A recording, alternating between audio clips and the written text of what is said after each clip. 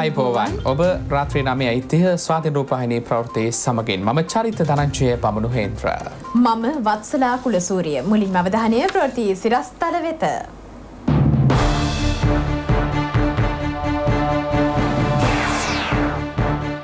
ඉතනෝල් ආනයිනය සම්පූර්ණයෙන් තහනම්.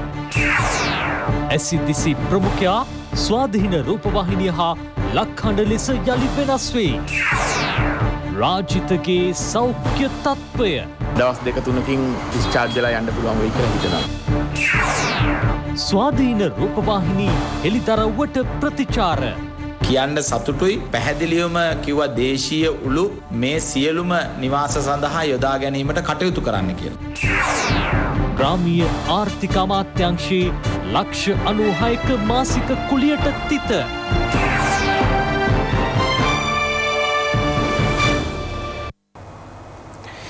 මෙරට වනස්පතියක් වූ රූපාහිනී මහගෙදර ස්වාතින රූපාහිනය ලෙසත් සහෝතර ගුවනදලි නාලිකාව ලක්හඬ ගුවනදලි ලෙසත් අරුත්පර ගමනක් අද ආරම්භ කළා. පැවති වටිනාකම් හා හර පද්ධතිීන් රකිමින් පවුලටම එකට නැරබිය හැකි නාලිකාවක් ලෙස අද සිට අප ගමන් ආරම්භ කර තිබෙනවා.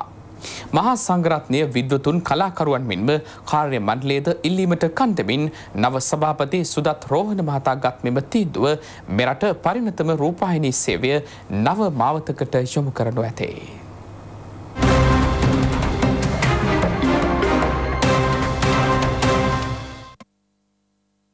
මීට වසර හතරකට පෙරයි ITN සහ ITN FM ලෙස අප නාලිකා වෙනස් කෙරුණේ. ඒ සඳහා කිසිදු සැලසුම් සහගත වැඩපිළිවෙලක් ක්‍රියාවට නැන්වුණේ නැහැ. මෙරට රූපවාහිනී සරසවිය ස්වාධීන රූපවාහිනිය කඩාවැටීම ආරම්භ වුණේ එතැන් සිටයි. පසුගිය පාලන සමයේදී පෞද්ගලික අරමුණු වෙනුවෙන් සිදු කෙරුණු මෙම වෙනස්කම්වලට සමස්ත සේවකයන් විරෝධය පළ කළත් එවකට පාලනාධිකාරය ඒකාධිපති ලෙසින් මෙම වෙනස්කම් සිදු කළා. නව සභාපතිවරයා පත් වූ විකස සියලු දෙනාගේම ඉල්ලීම වූයේ ස්වාධීන රූපවාහිනිය සහ ලක්කඩ ගුවන්විදුලිය නැවත ස්ථාපනය කරන ලෙසයි. ඒ අනුවයි විස්සයි විස්ස නව දශකයේ ජනවාරි පළමුුණදා ස්වාධීන රූපවාහිනිය සහ ලක්හඬ ලෙස අප නැවත ප්‍රේක්ෂක ජනතාව වෙත සමීප වන්නේ. ඒ ගෞරවනීය ප්‍රේක්ෂක ඔබට තිරය පුරා දැනෙන වෙනස්කම් රැසක්ද සමගින්. අදින් ඇරඹෙන නව ගමන එළඹෙන පෙබරවාරි හතරවනදා නිදහස් දිනයදා ජන මනස නිවැරදි කරමින් ස්වාධීන රූපවාහිනියේ සහ ලක්හඬ ගුවන්විදුලියේ පූර්ණ වෙනසක් සිදු කෙරෙනවා. සුභාවිත ගීත කලාව රැකගනිමින් ශ්‍රාවකයන්ගේ අපේක්ෂා යථාර්ථයක් බවට පත් කරමින් ලක්හඬ ගුවන්විදුලියද අද නව ගමනක් ආරම්භ කළා. අද සිට ආයමත් ආදරෙන් තේමාවෙනුයි ස්වාධීන රූපවාහිනියේ සහෝදර නාලිකාව ලක්හඬ ශ්‍රාවක ඔබ වෙත සමීප වන්නේ. එක්දස් නවසය අනු හයවසරේදී ලක්කණඩ ගුවන්දුලිය ආරම්භ වුණේ ජේෂ්ඨ මාධ්‍යවේදී නිවටන් ගුණරත්න මහතාගේ වෙහෙසකර මහන්සියේ ප්‍රතිඵලයක් ලෙසයි. එහෙත් හරසුන් FM කලාව පසුපස ලක්හඬ ගුවන්විදුලියද ගෙන යමින් පසුගිය පාලන සමයේදී එය ITN FM ලෙස වෙනස් කෙරුණා. ලක්කඩ ගුවන්විදුලියේ අඳුරතම යුගය ඇරමුණේ එතැන සිටයි. එයද දශකයේ ගුවන්විදුලි නාලිකාව ලෙස අද ලක් හඬ ලෙසින් වෙනස් වුණා. ඒ ශ්‍රාවක ඔබ වෙත වෙනස්කම් රසක්ද තිලින කරමින්. නව වසරේ රාජ්‍ය සේවක ප්‍රතිඥාව ලබාදීමේ උත්සවයට සමගාමීවයි ස්වාධීන රූපවාහිනී මාධ්‍ය ජාලය සහ ලක්කඩ ගුවන්විදුලිය අද මෙම නව ගමන ආරම්භ කළේ. සමස්ත සේවකයන්ගේ සහභාගිත්වයෙන් වික්‍රමසිංහපුර ප්‍රධාන කාර්යාල භූමියේදී එම උත්සවය පැවැත්වුණා. එහිදී මාධ්‍ය ජාලයේ සභාපති සුදත් රෝහණ මහතා ජාතික දජයත් ස්වාධීන රූපවාහිනී දජය ප්‍රධාන විදායක නිලධාරී නලින් නිශ්ශංක මහතාත් ලක්කඩ ගුවන්විදුලියේ දජය එහි නියෝජ්‍ය සාමාන්‍ය අධිකාරී අශෝක කරුණානායක මහතාත් එසවීම සිදු කළා. අනතුරුවයි රාජ්‍ය සේවක ප්‍රතිඥාව ලබා දීම සිදු කෙරුණේ. අද සිට නව ගමනක් ආරම්භ කරන ස්වාධීන රූපවාහිනිය සහ ලක්කඩ ගුවන්විදුලිය යා යුතු මඟ පිළිබඳ මෙහිදී එහි සභාපති සුදත් රෝහණ මහතා සමස්ත කාර්ය මණ්ඩලය දැනුවත් කළා. ගෙවුණු මොහොතකට ගෙවුණු වසරකට වඩා මේ එළඹෙන මොහොත ඉතාම අභියෝගාත්මකයි. ඒ අභියෝග ජයගන්න සහෝදර සේවික සේවිකාවන් අපි එක අරමුණකින් එකට බැඳුනොත් එකට කැපවුනොත් පෙරසේ මේ නාලිකාව අපිට ලංකාවේ අංක එකේ නාලිකාව බවට ඉතාම නුදුරේ පත් කළ හැකි. අතලොස්සකගේ පෞද්ගලික අවශ්‍යතා වෙනුවෙන් හිතුමතය වෙනස් කෙරුණු ලක්කඩ ගුවන්විදුලිය පිළිබඳව එහි නිර්මාතෘ ජේෂ්ඨ මාධ්‍යවේදී නිවටන් ගුණනත්ත මහතා මෙහිදී අදහස් පල කළා. තාමත් අවාසනාවන්ත සිදුවීමක් වුණා දෙදහස් දාසය වසරේදී. මට ලැබුණා ටීට පනිියුටයක් උත්තම ගුවන්විදුලි මාතාවගේ දයාබර දියනිය වූද. ස්වාදීනගේ හදාගත් දරුවා වූද. සුවහසක් දනන්ගේ සිස් සතන් පහන් කළ නැගනිය වූද. ලක්හඬ යෝන් කුමරිය සිය විසිවැනි ජන්මදිනයට එළබෙත්දී අකාලයේ ගහතනය වූ බව සාතිශය සංවේගෙන් දැනුම් දෙමු. මා හිතනවා මේක ඉහලින් ආපු දේශපාලන බලපෑමකින් සිද්ධුවක් නෙබෙයි ලක්හනින්ම බිහිවෙලා ලක්හනටම මාවිසින් ගත්ත කීප දෙනෙක්ගේ කුමන්ත්‍රණකාරි වැඩ පිළිලිකින් වුණේ. අපේ ගමත කළ දම්. අකාලයේ ගහතනය ලක් වූ ලක්හඬ යෝන් කුමරිය පෙර කළ පුුණ්්‍ය බල මහිමෙන් අදදින දෙදස් විස්සේ ජනවාරි පලවනදා යළි මෙලොවෙලිය දුටු බව එමහත් සොම්නසින් ප්‍රකාශ කරනු කැමැත්තෙමි. හැදෙන රටට වැඩෙන ගසක් ජාතික රුක්රෝපණ වැඩස්ථානට සමගාමීව වික්‍රමසිංහපුර පරිශ්‍රයේ පැලයක් රෝපණය කිරීමටද කටයුතු කෙරුණා.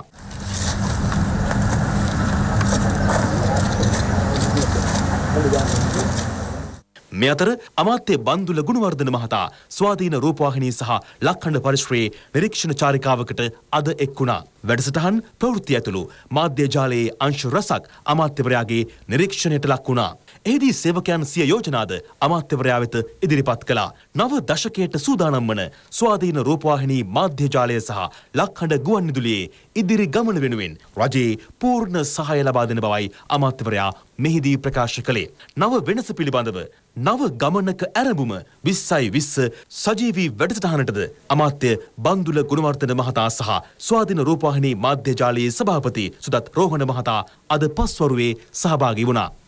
ආරපද්ධති ආරක්ෂා කරන නිදහස් පක්ෂපාතී නොවන මඩ දේශපාලනයෙන් තොරවෙච්ච සදාචාර සම්පන්න දියුණු ප්‍රබුද්ධ මාධ්‍ය සංස්කෘතියක් රට තුළ නිර්මාණය කිරීම තමයි රජයේ බලාපොරොත්තු. පසුගේ රජය ඒක පාර්ශ්වික වෛරචේතනාවෙන් යුත් මඩ සහ අවලාදවලින් පිරුණ ජාත්‍යන්තර වුවමනාවට වඩා ගැති ස්වකීය මාධ්‍ය ප්‍රතිපත්තිය සම්පූර්ණයෙන් යොදාගනු ලැබුව. එකතැනකද ඔබතුමාලට චෝදනාවක් කරන්න පුළුවන් නෑ දෙදස් පහලවෙන් එපිටත් ඔබතුමාල මාධ්‍ය භාවිතාව කළේ එහෙම. සේත් කියන් බෑ මොකද ඉතාම දරුණු තිස්සවුරුදු යුද්ධයක් පවතින කාලෙත් මාධ්‍ය නිදහස. රැක දුන්න. නිදහස් මාධ්‍ය නිදහස යටතේ ඇතිවෙච්ච මාධ්‍ය විකෘති කිරීම තුළින් තමයි යුද අපරාධ චෝදනා එල්ල කිරීමට තරම් මාධ්‍ය නිදහසත් යුද්ධය පවතින කාලෙත් රට ඇතුළි තිබුණ. ස්වාධීන රූපවායනය විස්සයි විස්සේ නවුම් ගමනක් යනවා. කොහොමද ජනවිඤ්ඥානය හඳුනාගෙන තියෙන්නේ. සමස්ත නිර්මාණ ඔලදිම මම ජන විඤ්ඥානය හොඳින් තේරුම්ගත් නිර්මාණකරු නිසා මට මේක එතරම් විශේෂිත දෙයකුත් අපූරෝදයකුත් නෙේ මගේ ජීවිතය හා බැඳුණු කාරණාව. රාජ්‍ය නාලිකාවක් විදිර ම හිතනවා ජාතික නාලිකාව සහ සුවාධින් නාලිකාවගෙන් අම්ම ඉතාත්තයි වගේ දෙන්නේ. එතකොට මේ අම්මයි තාත්තයි තම අනිත් එවට මඟ පෙන්න්න ඕන. හැබයි ඒක පසුගේ කාල්සීමාව තුළදි සිද්ධ වනේ නෑ පක්ෂ විපක්ෂ බේදයකින්තරෝ මේ නායකින් අපි මෙතැන්ට ගෙන්න්නනවා රජෝම ප්‍රශ්න කරනවා. ජාතික ප්‍රතිපත්තිය කෙනෙකට පලවෙනි අඩිතාලම අපට තියන්න පුළුවන්. ස්වාධීන් රූපාණි හර මොකද අපි නිවැරදදි නිරවුල් ප්‍රතිපත්තිම කාරණ රසකට යන්න ඇත්වෙලා තියෙන වසාකච්ඡා කලතිනවා වදින් ආරම්භ කරපු මේ කාරණාව කෝට ප්‍රාප්තිය බවට පත්වෙන්නේ පෙබරවාරි හතරන්නේ. සම්පූර්ණ මහිතන ස්වාධීන මාධ්‍ය ජාලයේ යහපත් ආකාරයට යටි උඩුකර වෙනවා කියන කාරණාව මන් සීපත් කන්න කැමති.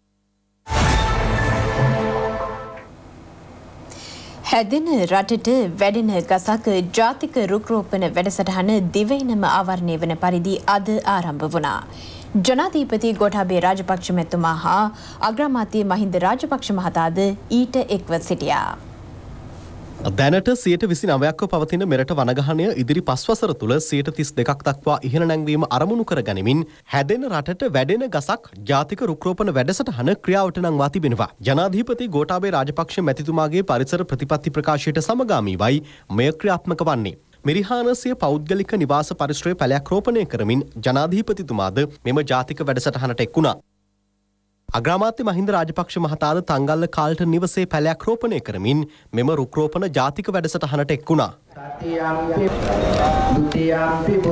මේ අතර ජාතික රුක්‍රෝපණ වැඩසටහනේ සමාරම්භක උත්සවය අමාත්‍ය එස්.එම්. චන්ද්‍රසේන මහතාගේ ප්‍රධානත්වයෙන් අනුරාධපුර ඓතිහාසික මහමෙවුනා උයනේදී පැවැත්වුණා. අටමස්ථානාධිපති ආචාර්ය පූජ්‍ය පල්ලේගම සිරිනිවාස ස්වාමින් වහන්සේගේ අනුශාසනා පරිදි පැවති එම උත්සවයට මහා සංඝරත්නයේද මහජන නියෝජිතීන් රැසක්ද එක්ව සිටියා. හැදෙන රටට වැඩෙන ගසක් වැඩසටහන යටතේ මහවැලි කලාපය තුළ පැවති ප්‍රධාන රුක්‍රෝපණ වැඩසටහන ක්‍රියාත්මක කෙරුණේ මයුරපුර මහවැලි කොට්ටාශය යුඩි විසි පහ වැව් වනවගාරක්ෂිතය තුළයි. මහවැලි සංවර්ධන අධිකාරයේ අධ්‍යක්ෂ ජනරාල් සුනිල් පෙරේරා මහතාගේ ප්‍රධානත්වයෙන් එය පැවැත්වුණා. පාසල් දරුදැරියන්ද ඊට එක්ව සිටියා. රත්ගම කලපුව මධ්‍යෙහි පිහිට ඇති පොල්ගස්දුව ජාත්‍යන්තර ආරණ්‍ය සේනාසනය හා පරප්පුදුව ආරණ්‍ය සේනාසනයද පැළ සිටුවීමට කටයුතු කෙරුණා. හික්කඩුව ප්‍රාදේශීය ලේකම් කාර්යාලය සහ දකුණේ දිහිවර සංවිධානයයි මේ සඳහා එක්වුණේ. ඒ යටතේ මහ කඩොලාන මී කුඹුක් ආදී පැළ විශාල ප්‍රමාණයක් සිටුවීමට කටයුතු කෙරුණා. සියනෑව හරිත පුරවරයක් කිරීමේ පළමු වැඩසටහන කැලණිය විශ්වවිද්‍යාලයෙන් ආරම්භ කෙරුණා. ආචාර්ය නාලක ගොඩහෙවා මහතා ඇතුළු පිරිසක් එම අවස්ථාවට එක්ව සිටියා.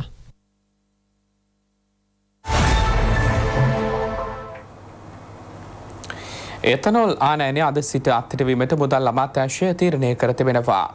මුදල් ආර්ථික හා ප්‍රතිපත්ති සංවර්ධන අමාත්‍යවරයා ලෙස අග්‍රාමාත්‍ය මහින්ද රාජපක්ෂ මහතාගේ නියෝගයකට අනුවයි මෙම තීරණය ගෙන තිබෙන්නේ. මත්පැන් නිෂ්පාදනය සඳහා භාවිත කරන එතනොල් දේශීය වශයෙන් බහුලව නිෂ්පාදනය කරන බැවින් මෙම පියවර ගෙන තිබෙනවා. ආතතිය හා අධිරුදර පීඩනයෙන් පිළීම හේතුවෙන් දැඩි සත්කාර ඒකකයට ඇතුළත්ව සිටි පාර්ලිමේන්තු මන්ත්‍රී රාජිත සේනාරත්න මහතා අද සාමාන්‍ය වාටුවකට මාරු කළ බව වාර්තා වනවා. අත්අඩංගුවට ගෙන රක්ෂිත බන්ධනාගාරගත කර සිටි පාර්ලිමේන්තු මන්ත්‍රී රාජිත සේනාරත්න මහතා ඇපමත මුදා හැරීමට කොළඹ ප්‍රධාන මහේස්ත්‍රාත් ලංකා ජයරත්න මෙනවිය පෙරේදා දිනේදී නියෝග කළා. අධිකරණය වරෙන්තු නිකුත් කොට දින දෙකක් යනතුරු රාජිත සේනාරත්න මහතා අපරාධ පරීක්ෂණ දෙපාර්තමේන්තුවටද සොයාගත නොහැකිව අතුරුදන්ව සිටියා. ආන්දෝලනාත්මක සුදුවෑන් මාධ්‍ය හමුව සම්බන්ධයෙන් වරෙන්තු ලබා සිටි පාර්ලිමේන්තු මන්ත්‍රී රාජිත සේනාරත්න පසුගිය බ්‍රහස්පතින්දායි නාරාහෙන්පිට පෞද්ගලික රෝහලක දැඩි සත්කාර ඒකකයට ඇතුළත් වුණේ. එහිදී අපරාධ පරීක්ෂණ දෙපාර්තමේන්තුව ඔහු අත්අඩංගුවට ගත්තා. මෙම අවස්ථාවේදී ඔහුගේ වෛද්‍යවරයා ප්‍රකාශ කළේ ආතතිය සහ අධිරුධිර පීඩනය හේතුවෙන් රාජිත සේනාරත්න මහතා වෙනත් රෝහලකට මාරු කළ නොහැකි බවයි. කෙසේ වුවද අද දිනේදී ඔහු දැඩි සත්කාර ඒකකයෙන් වෙනත් වාට්ටුවකට මාරු කරන දර්ශන සමාජ මාධ්‍ය ඔස්සේ පළ වී තිබුණා.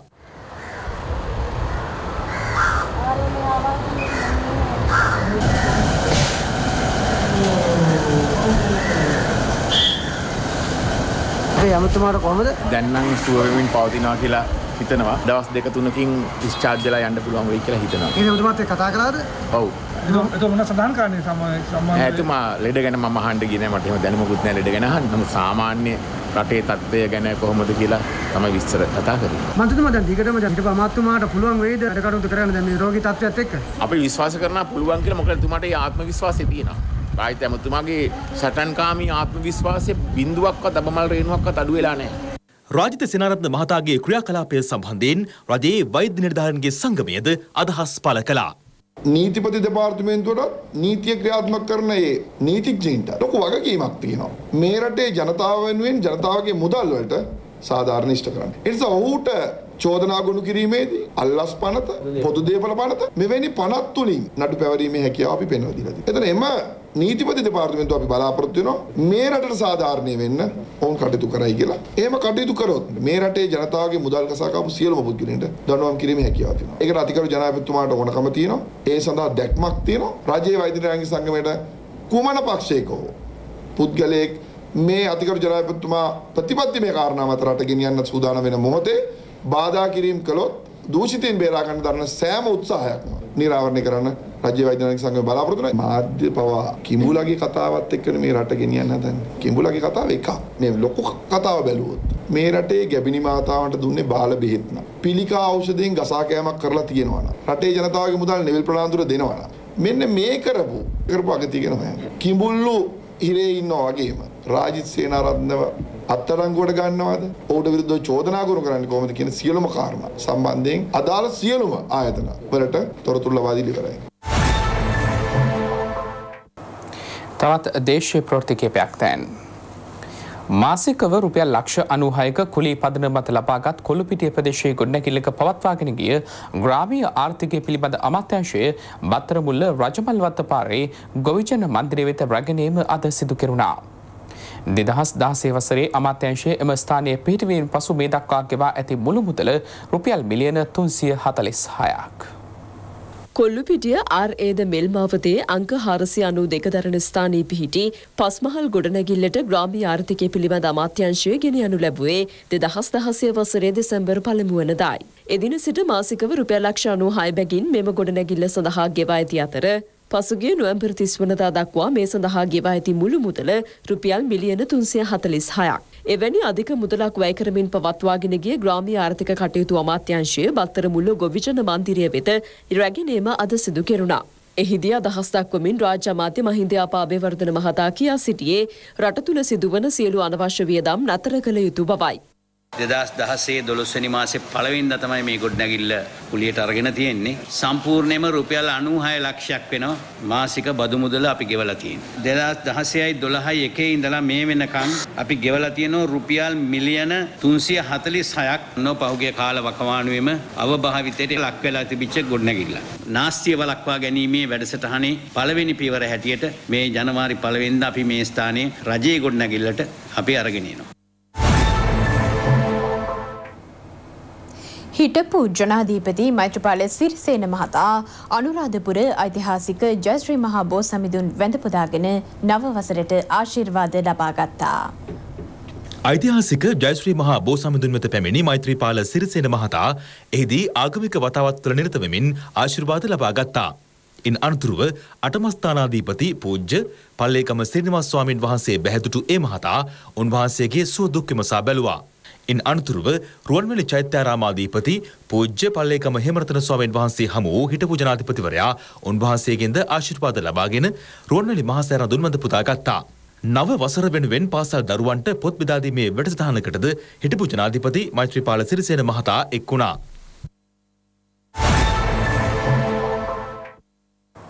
ස්වාධීන රූපවාහිනිය කළ හෙළිදරව්වකට අනුව රජයේ ගොඩනැගිලිවල වහලේ සඳහා උළු යොදා ගැනීමට තීරණය කර තිබෙනවා. පසුගිය රජය කිසිදු සැලකිල්ලක් නොදැක්වූ උළු කර්මාන්තකරුවන් නගා සිටවීම සඳහායි වත්මන් රජය මෙම තීරණය ගෙන තිබෙන්නේ. පසුගිය රජයේ සමයේ මෙරට උළුකර්මාන්තකරුවන් පිළිබඳ කිසිදු සැලකිල්ලක් නොදක්වා ඔවුන්ට ලබාදී තිබූ කෝටාවද අහිමි කර තිබුණා. කබලෙන් ලිපට වැටුණු දේශීය උළුකර්මාන්තකරුවන්ගේ ගැටලුව ස්වාතින් රූපහිනී ප්‍රවෘත්ති ඔස්සේ රටටම හෙළි කළා. මෙම කර්මාන්තකරුවන්ගේ ගැටලුව නිවැරදිව අවබෝධ කරගත් වත්මන් රජය ඉදිරියේදී සිදු කරන සියලු රජයේ ඉදිකිරීම් සඳහා දේශීය උළු යෙදවීමට තීරණය කළ බවයි රාජ්‍ය අමාත්‍ය ඉන්දික අනුරුද්ධ මහතා ස්වාධීන රූපවාහිනී ප්‍රවෘත්තිංශයට ප්‍රකාශ කළේ. ස්තුතිවන්ත වෙන්න ඕන ස්වාධීන රූපවාහිනිය විදිහට මේ උළු කර්මාන්තකරුවන්ගේ ප්‍රශ්නය මාධ්‍යයට ගෙනල්ලා මේක නිරාවරණය කිරීම සම්බන්ධයෙන් මේ රැකියාවට හරිම සාධාරණීකරණය ලබා දුන්නේ වූ අතිගරු ජනාධිපති මහින්ද රාජපක්ෂ මැතිතුමා තුමා ඒ වෙලාවේ නිවාස ව්‍යාපෘති සියල්ලටම උළු කර්මාන්තකරුවන්ගෙන් උළු මිලදී ගැනීමට උපදෙස් දීලා තිබුණා. මෑතකදී ගම්මාන හැදුවා කීවත් මේ එකදු ගම්මානයකටවත් උළු කැටයක් යොදා ගන්න තැනට හිටපු අමාත්‍යවරයා කටයුතු කළේ නැහැ. මේක හිටපු ජනාධිපතිතුමා වර්තමාන අග්‍රාමාත්‍යතුමා දැක්ක දෙයක් ඒ සම්බන්ධයෙන් එතුමත් අතිගරු ජනාධිපති ගෝඨාභය රාජපක්ෂ මැතිතුමත් සාකච්ඡා කරලා වැඩසටහනක් අපිට ඉදිරිපත් කළා. ඒ වැඩසටහනේදී කියන්න සතුටුයි පැහැදිලිවම කිව්වා දේශීය උළු මේ සියලුම නිවාස සඳහා යොදා ගැනීමට කටයුතු කරන්න කියලා. ඉතින් ඒක මං හිතන්නේ මේ වෙද්දිත් අපේ උළු සංගම් වලට දැනුම් දීලා තියෙනවා. පෙර දවසේ දැක්ක මේ ප්‍රවෘත්තියට කියන්න තියෙන්නේ මේ වෙනුවෙන් අපි දැම්මම සැලසුම් හදලා හමාරයි. රටේ සේනාධිනායකයා සහ ආරක්ෂක ඇමතිවරයා දෙදෙනෙකු නොව එක් අයෙකු විය යුතු බව පාර්ලිමින්තු මන්ත්‍රී ආචාර්ය විජේදාස රාජපක්ෂ මහතා පවසනවා. විසි දෙවෙනි සංශෝධනය බලාත්මක කිරීම තුළින් ජනාධීපතිවරයාට ආරක්ෂක අමාත්‍යංශය තමන් යටතේ තබාගත හැකි බවයි මාධ්‍ය හමුවකදී ඒ මහතා කියා සිටියේ. එකසිය දහතුනක් බලය සඳහා ලබාගන්න බැරිවීම හේතුවෙන් ඒ සුළු කණ්ඩායන් එක්ක හදන ආණ්ඩු තුළ නිරන්තරයෙන් සිද්ධ වෙන්නේ අර මන්ත්‍රීවරු හත් දෙනෙකු අට දෙනෙක් ඇවිල්ල හදන ආණ්ඩුව තුළ මහපක්ෂ අතකොළුවක් බවට පත්වෙනවා අර කුඩා පාර්ලිමේන්තු කණ්ඩායමක හත්තට දෙනෙක්ගේ. අපේ ආණ්ඩු ක්‍රම ව්‍යවස්ථා සන්දර්භයම දැන් විකෘති වෙලා තියෙනවා. ජයාර්ජාවර්ධන ජනාධිපතිතුමා හැත්තට ව්‍යවස්ථාව හඳුන්වලා දුන්නේ ස්ථාවර ආණ්ඩුකක් ගෙනියන්න පුළුවන් ආකාරයට පාර්ලිමේන්තුවක් නිර්මාණය කරන්න. එහෙම නොවුනොත් රටේ අස්ථාවර භාවය තුළින් රටේ ආරක්ෂාව නැතු යනවා ආර්ථිකය බිඳවැටෙනවා. මේ පාලොස්වනි සංශෝධනය අපි ආපහු හැරව්වේ නැත්තං. අපේ රටේ ජනතාවට ඉදිරි ගමනක්. සුබදායක අනාගතය සඳහා ඉදිරි ගමනකට අවකාශ නැතු යන. ජනාධිපතිවරයා ජාතික ආරක්ෂාව පිළිබඳව පූර්ණ වගකීම දැරිය යුතුයි. ජනාධිපතිවරයා අනිවාර්ය ලෙස සේනාධි නායකය විය යුතුයි. එතකොට සියලු හමුදාවන් වල සේනාධි නායකයකුත් ආරක්ෂක ඇමතිවරයකුත් කියලා රටක දෙදෙනෙක් ඉන්න බෑ. එනිසා මෙම ආණ්ඩුක්‍රම ව්‍යවස්ථාව පිළිබඳව සැකසංකා ඇතිකිරීම වැලැක්වීම පිණිස ආණ්ඩුක්‍රම ව්‍යවස්ථාව නිවැරදි කර ගැනීම ව්‍යවස්ථාදායකයේ වගකීමක්. පාස්කු ප්‍රහාරය ගැනද විජයදාස රාජපක්ෂ මහතා මෙහිදී කරුණු හෙළි කළා. පහුගේ අවුරුදු හතර පුරාවටම ව්‍යවස්ථාදායක සභාව කිසිම අවස්ථාවක ස්වාධීනව කටයුතු කළේ නෑ ඉතාමත්ම පක්ෂග්‍රාහී ලෙස කටයුතු කලා ඒ පක්ෂග්‍රාහි ලෙස කටයුතු කිරීමේ ප්‍රතිඵලයක් නිසා තමයි පාස්කු ප්‍රහාරය පවා අපිට වලක්ව ගන්නට බැරි වුණේ සුදුසු තැන්වලට සුදුසු අය පත්කිරීම වලක්වාලනු ලැබුවේ ව්‍යවස්ථාදායක සභාව. තමන් පරාජය කිරීමට තම පක්ෂය තුළ ක්‍රියාත්මක වූ කුමන්ත්‍රවල සියලු තොරතුරු ඉදිරියේදී හෙළිවන බව පාර්ලිමේන්තු මන්ත්‍රී සජිත් ප්‍රේමදාස මහතා පවසනවා. හැට නම ලක්ෂයක කැමැත්ත හිමි වූ ජනාධිපතිතුමාගේ ප්‍රතිපත්ති ප්‍රකාශය ක්‍රාත්මක කිරීමට සියලුම සහය ලබාතින බවයි ඒ මහතා අවධාරණය කළේ. මාවතගම ප්‍රදේශයේ පැවති ජනහමුවකදී පාර්ලිමේන්තු මන්ත්‍රී සජිත් ප්‍රේමදාස මහතා මේ බව ප්‍රකාශ කළා. ජනාධිපතිවරණයේදී තමන් වෙත සහය දැක් වූ කුරුණෑගල ජනතාව වෙනුවෙන් ස්තුතිය පළ කිරීම සඳහා ජනහමුව සංවිධාන කර තිබුණා. එම ජනහමුව සංවිධාන කළේ පාර්ලිමේන්තු මන්ත්‍රී ජේසී අලවතුවල මහතායි. ජනාධිපතිවරණ ව්‍යාපාරය තුළ සිදුවුණු දේවල් දිහා තමුන්නාන්සලා පොඩ්ඩක් හිතලා බලන්න. අදහන්න පුළුවන්ද ආණ්ඩුවක් තිබියදිත් ගෑස් හිඟයක් ආපු එක. මේ සම්මතයකට ආණ්ඩුවක් බලයේ ඉඳගෙන ජනාධිපතිවරණයකට මුහුණ දෙනකොට එහෙම හිඟතාවයන් ආවද? එහෙනම් මට පේනවා මේ හැම දෙයකම උන්චි සැලසුම් සහගත භාවයක් කුමන්ත්‍රණකාරී භාවයක්. ඒ ගෑස් හිඟේ ශක්තිය තොරතුරුත් මං හිතන්නේ ඉදිරියට තමුන්නාන්සලා සියලු දෙනාටමත් රටේ ජනතාවට තේරෙයි. ජයග්‍රාහී ගමනක් යන්නට නම් අලුත් ක්‍රමවේදයකට අලුත් වැඩපිළිවෙලක් ක්‍රියාත්මක කරන්නට ඕන. ඒ වගේම මිත්‍රවරුනි කවුරු කැමති වුණත් නැති වුණා. අපිට 56 ලක්ෂයක් ලැබෙනකොට අපේ ප්‍රතිවාදියට 69 ලක්ෂයක් ලැබුණා. දැන් 69 ලක්ෂයක් වරම ලබා දුන්නු ප්‍රතිපත්ති මාලාව ක්‍රියාත්මක කරන්නට අපි අපේ ආශිර්වාදයක් දෙන්නට ඕන. උතුරේ ඇතැම් දේශපාලඥයන් රට තුළ අර්බුදයක් ඇතිකිරීමට උත්සාහ දරන බව ශ්‍රී ලංකා පොදුජන පෙරමුණේ පාලන ලේකම් රේණුක පෙරේරා මහතා මාධ්‍ය හමුවකට එක්වෙමින් කියා සිටියා. එම පෙරමුණේ සභාපති මහාචාර්ය ජෙල් පීරිස් මහතාද මෙහිදී අදහස් දැක්වූවා. සුවන්දරම් මන්ත්‍රීවරයාත් ඒවගේම සම්බන්ධන් මන්ත්‍රීවරයාත් විග්නේශවරන් මහඇමතිවරයාත් මේ රටේ ජාතික සමගියට යම්කිසි ආකාරයක බාධාවක් වන ආකාරයේ ප්‍රකාශ හා ක්‍රියාවන් වල උන්නියලෙන් මේ රට නරක දිසාවකට වෙනත් දිසාවකට හරවන්නට කිසියම් හෝ කණ්ඩායමකට අවස්ථාවාදීන්ට ඉඩකඩ නොදී සිටීමටත් අපි සියලු දෙනාගේ වගකීමක් හැටියට පක්ෂයක් වශයෙන් අපි විශ්වාස කරනවා. අජුන මහෙන්ද්‍රන් මේ රටට ආවොත්. එතුමා දෙන සාක්ෂිවල රිජු ප්‍රතිඵලයක් හැටියට යහපාලන රජයේ ප්‍රධාන චරිත විශාල අමාරුවකට භාසනය. එතොර කාටත් පෙනෙයි මේකේ ප්‍රධාන චරිතය අර්ජුන මහෙන්ද්‍රන් නෙමේ ඊට වඩා හුඟක් ඉහළට ගියා. කොහෙන්ද නියෝග ලැබුණේ? ඒවා සියල්ලක්ම අධිකරණය ඉදිරියේ ඔප්පු වුණා. ඒ නිසා පහුගිය රජයට කිසිම අවංක වුණාවක් තිබුණේ නැහැ අර්ජුන මහෙන්ද්‍රන්ව ගෙන්න ගන්න. සිංගප්පූරු රජයේ ඉල්ලන දේවල් නිසි පරිදි ලබා නොදුන්නේ ඒ නිසායි. මේ රටේ ජනතාවගේ මුදල් මේ කොල්ලක ලබාගත්. එතකොට මේ මුදල් වලින් සෑහෙන කොටසක් තාම ලබා ගන්න පුළුවන්. ඒ ධනස්කන්ධය ලබා ගත්තොත් බදු බර එහෙම තව දුරටත් අඩු කරන්න පුළුවන්. ජේෂ්ඨතම පුරාවිද්‍යාඥයෙකු හා හිටපු පුරාවිද්‍යා කොමසාරස්වරයෙකු වන ආචාර්ය රෝලන්ඩ් සිල්වා මහතා අභව ප්‍රාප්ත වනා. වාස්තු විද්‍යාඥයෙකු මෙන්ම මධ්‍යම සංස්කෘතික අරමුදලේ ප්‍රථම අධ්‍යක්ෂ ජෙනරාල් වන්නේද ආචාර්ය රෝලන් සිල්වා මහතායි. ශ්‍රී ලංකා බිතු සිතුවම් ශ්‍රී ලංකා මූර්ති ඇතුළු පුරාවිද්‍යා ශ්‍රේත්‍රය පිළිබඳව ග්‍රන්ථ රැසක්ද ඒ මහතා රචනා කර තිබෙනවා. රෝලන් සිල්වා මහතා මිය යන විට අසූ හයවන වියෙහි පසු වුණා. ස්වාධීන රූපහිනී ප්‍රවෘත්ති තුළින් අදට අපි සමුගන්නවා. ඔබට සුභරාත්‍රයක්. www.itnnews.lk